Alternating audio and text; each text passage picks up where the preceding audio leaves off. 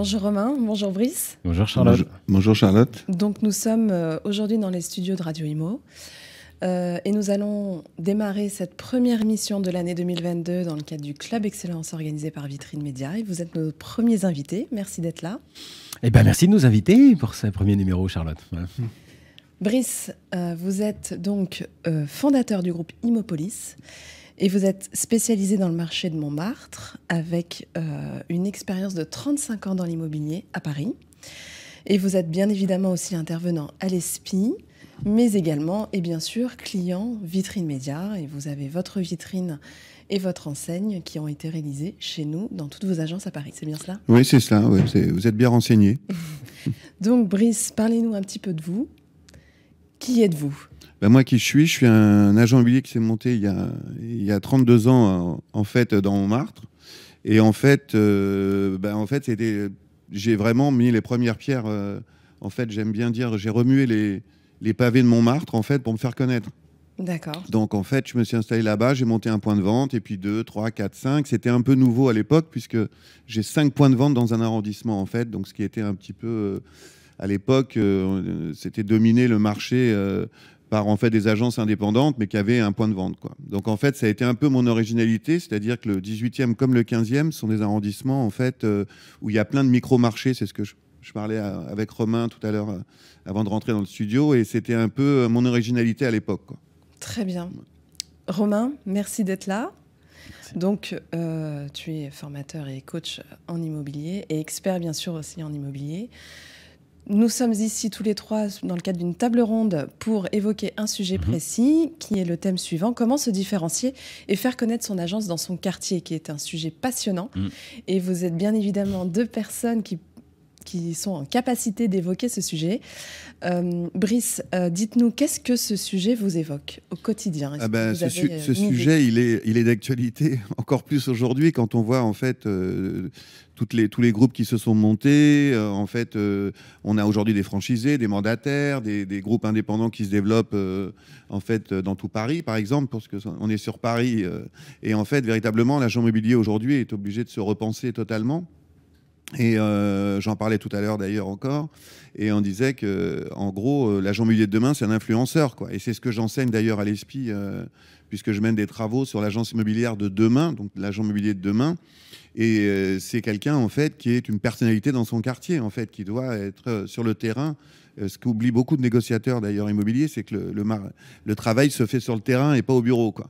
En fait, euh, moi, je dois passer deux heures par jour dans, dans mon bureau. Tout le reste du temps, je suis, je suis, je suis sur le terrain. Parce que, et, et en prenant du plaisir d'ailleurs. hein.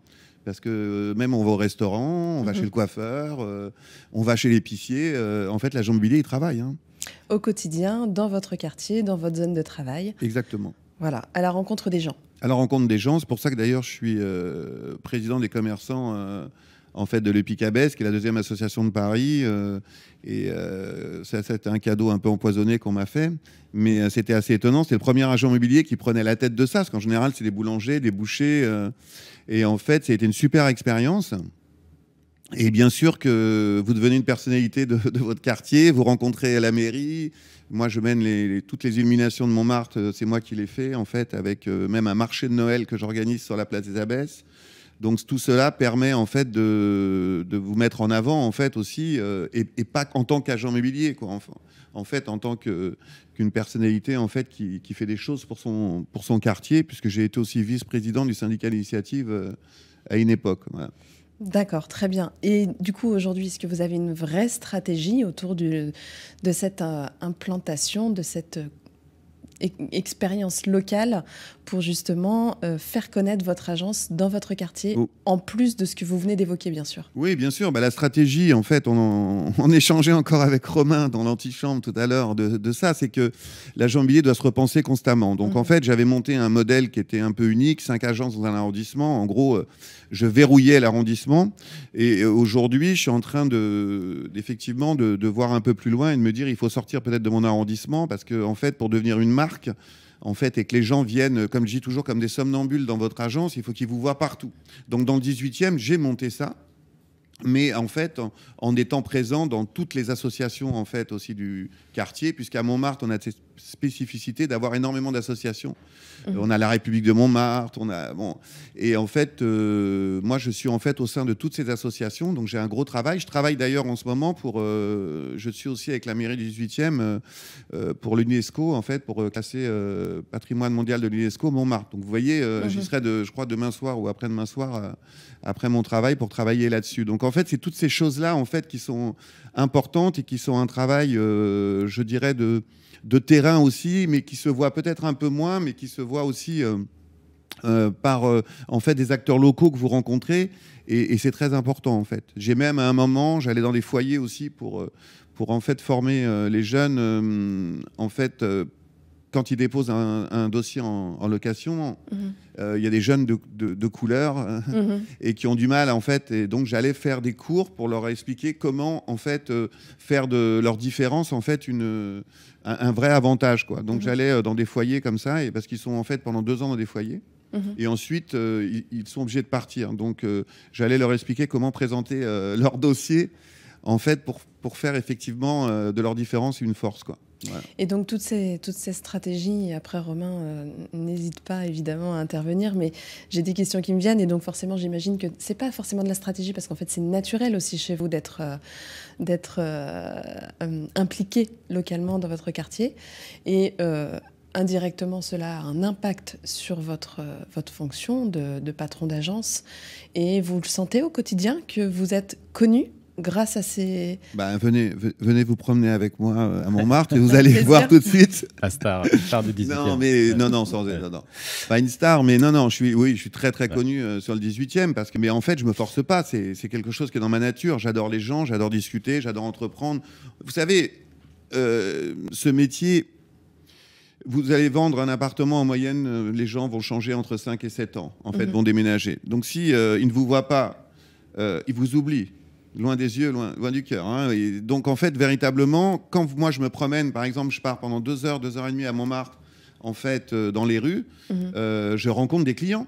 Et souvent, j'ai un client qui me dit Ah, Brice, mais j'ai un ami dans l'immeuble. Ah, puis je pense j'ai un projet. Si je le croise pas, si je reste au fond de mon bureau, je pense pas que ça se produit. Et je suis un, effectivement un peu un RP. D'ailleurs, dans l'agence, tous mes collaborateurs me disent que je suis le RP de la boîte sur Montmartre parce que mm. je suis mm. constamment partout. Alors, encore hier, j'étais euh, à un repas en fait euh, à Montmartre organisé par la République de Montmartre.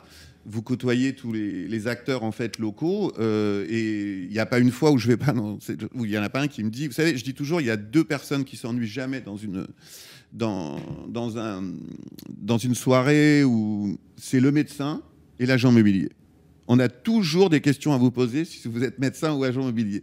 Donc en fait, c'est un peu ma vie. Donc c'est pour ça que c'est intéressant. Et c'est vrai qu'à chaque fois, on me dit ah bah tiens, j'ai un appart à estimer. T'as pas, euh, voilà, je cherche une location. Je cherche, tiens, on cherche un syndic. Euh, voilà. Donc c'est un métier en fait vraiment de terrain. Et je, le répète souvent à mes élèves, hein, d'ailleurs à l'ESPI.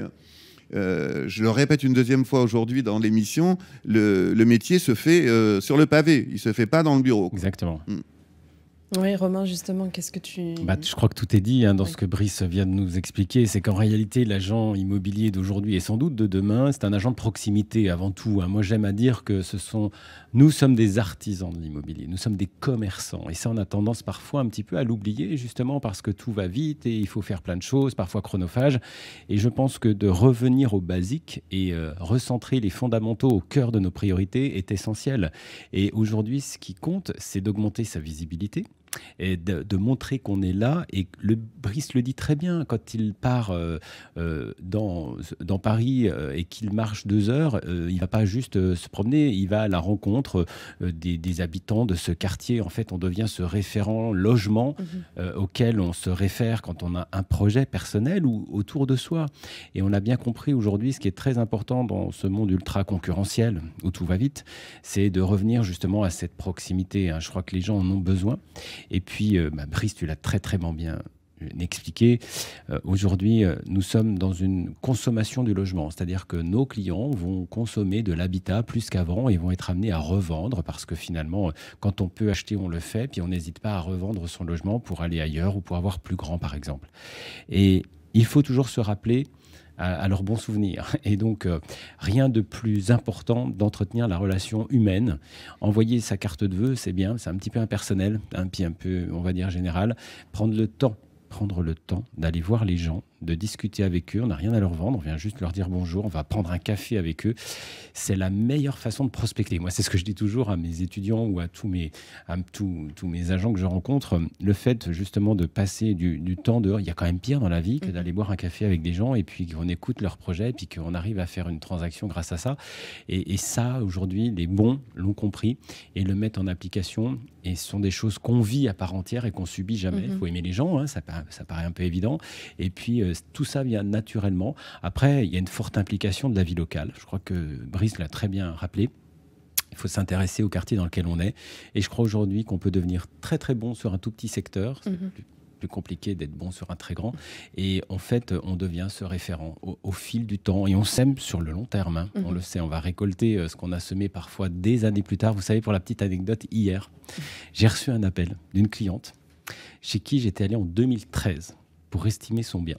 Et elle m'a rappelé seulement hier. Seulement, cette cliente, régulièrement, je prenais de ses nouvelles parce que quand j'avais un rendez-vous à côté, j'allais la voir, etc. Et vous voyez, aujourd'hui, je me dis, neuf ans après, ça y est, elle est décidée, elle va vendre. Voilà, ouais, comme quoi, il faut jamais rien lâcher dans ce métier. Et bien, je crois qu'aujourd'hui, si on ne fait pas des petites actions comme ça tout au mmh. long de l'année, des choses, vous savez, qui sont ni chronophages, ni coûteuses, hein, ni compliqué à faire, on a le fruit de ce résultat. Et c'est ça qui est beau, en fait. C'est ça qu'il faut comprendre, c'est que même si on est dans un marché où tout va vite, il mhm. faut prendre le temps de gérer les priorités. Et ça, ça fait partie des basiques. Donc un conseil à donner peut-être à des jeunes patrons d'agences qui se lancent dans l'aventure et qui n'ont euh, qu'une envie, c'est d'être présents localement et d'être mmh. reconnus assez rapidement. Le premier exercice, ce serait quoi? D'aller euh, prendre un café euh, D'aller se faire euh, connaître, d'aller à la rencontre des autres, mhm. d'accord? D'être justement avenant vis-à-vis des autres, comme l'a dit Brice, ne pas rester au fond du bureau en attendant que le client pousse la porte pour nous confier un mandat exclusif, parce que ça, ça n'existe quasiment pas.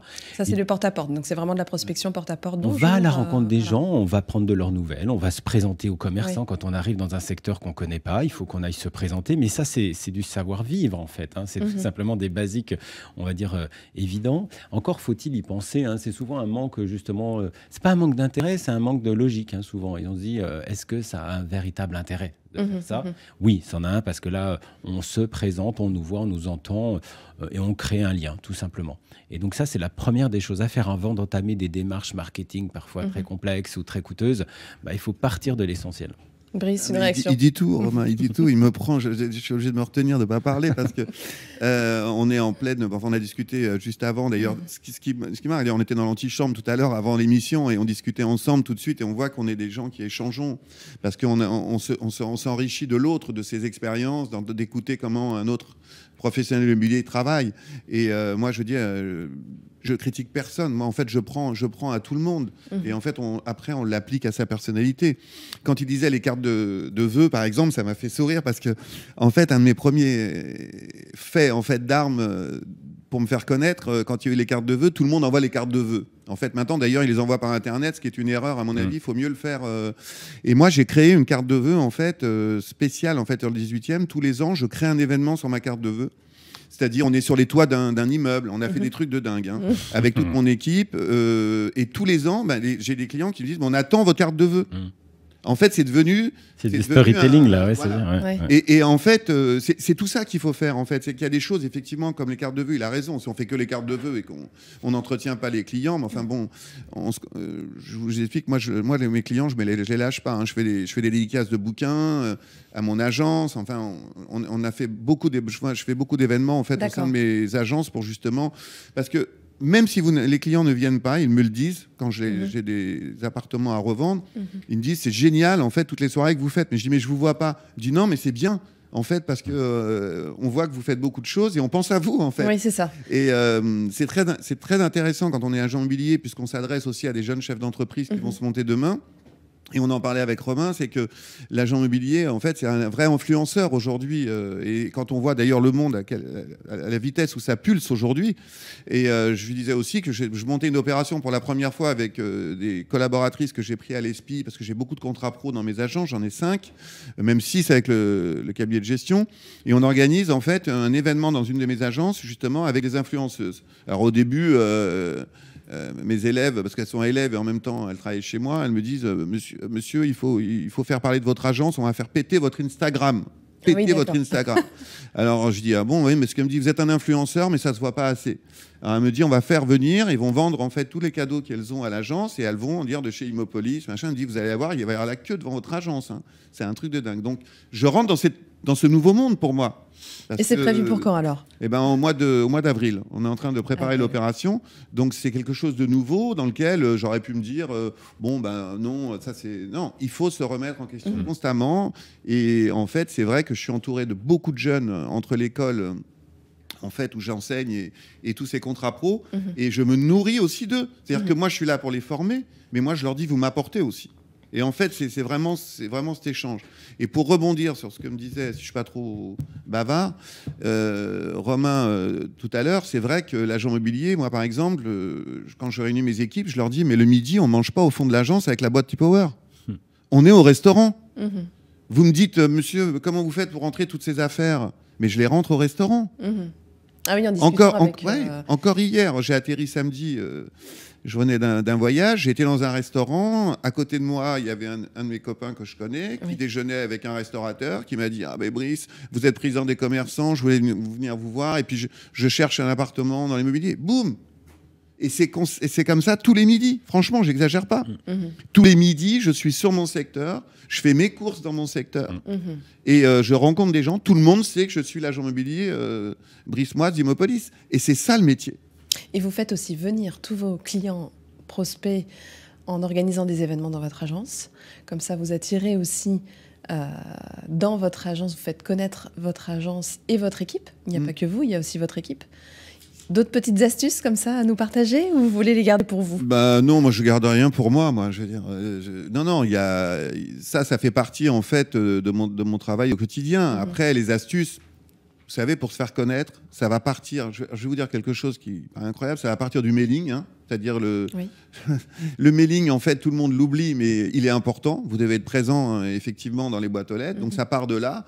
Avec aujourd'hui euh, les réseaux sociaux, où là je suis en train de faire un, un coup d'accélérateur, comme j'étais en train de vous l'expliquer là-dessus, parce que euh, ça me passionne. Je suis entouré d'un fils qui est venu me rejoindre puisqu'il a 26 ans. J'ai une femme aussi qui est très jeune.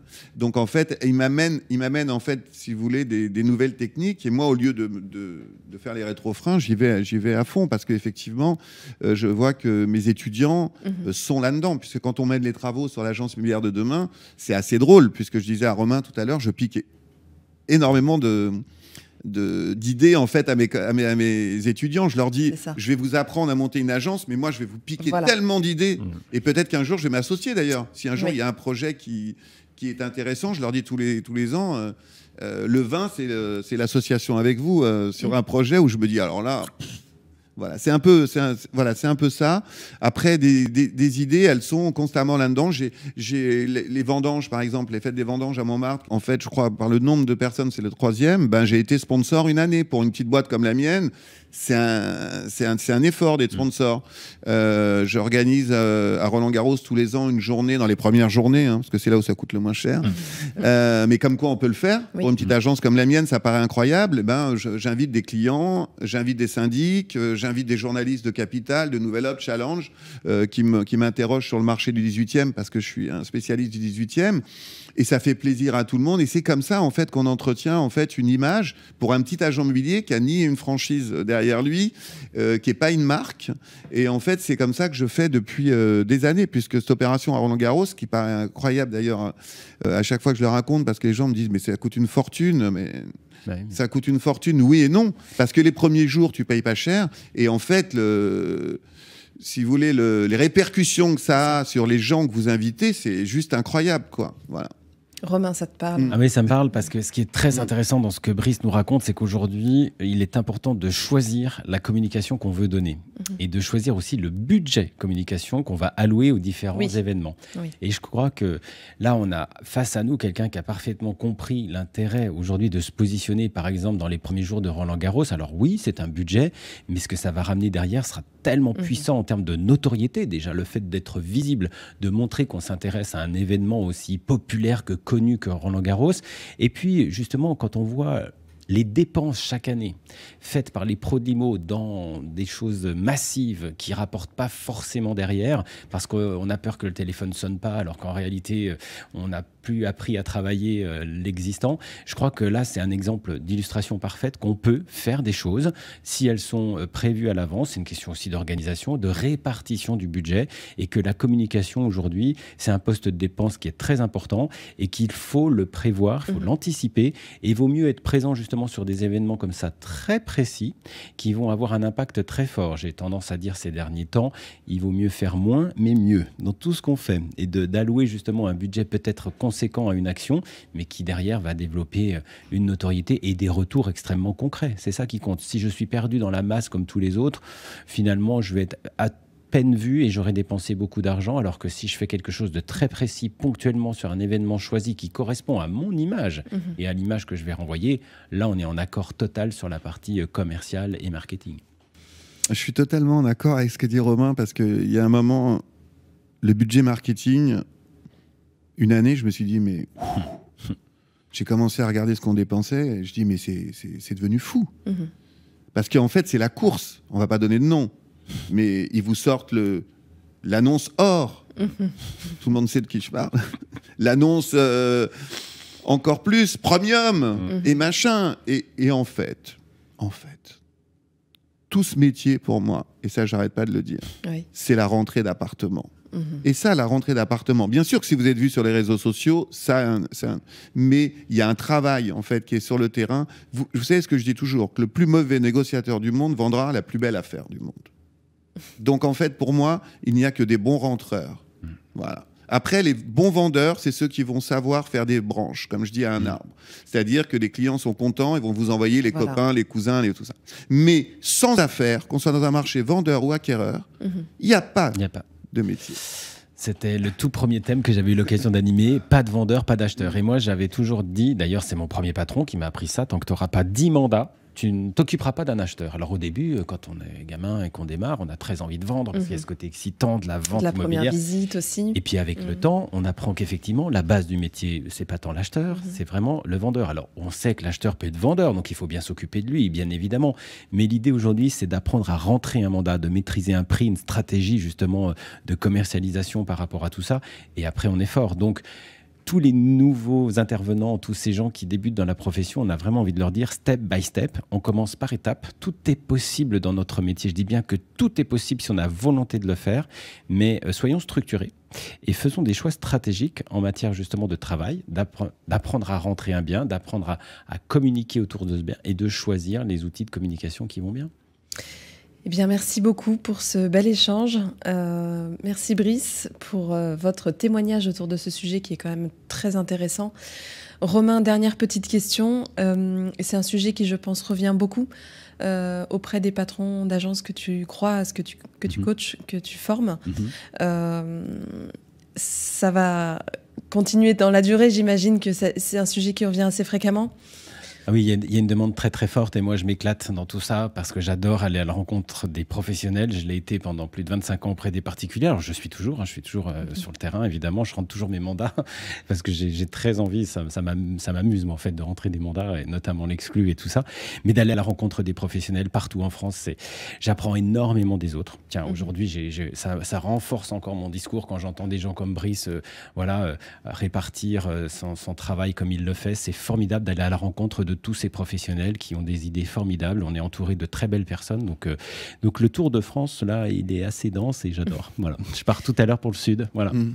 Eh bien, merci beaucoup, messieurs. Merci, pour cette première Excellence 2022 et à très bientôt. À bientôt.